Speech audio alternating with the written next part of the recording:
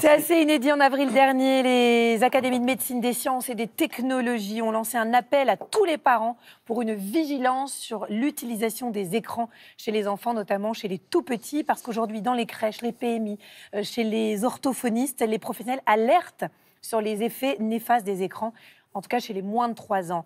Alors, on va essayer de ne pas dramatiser encore une fois, mais on va essayer de vous informer aussi clairement sur ce sujet.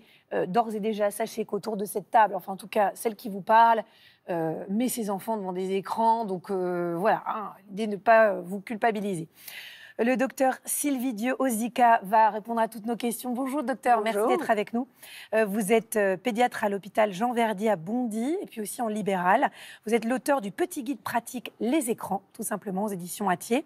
Et puis vous avez cofondé le collectif Cause, c'est Cause. comme ça pour sensibiliser à ce que vous considérez aujourd'hui être un problème de santé publique.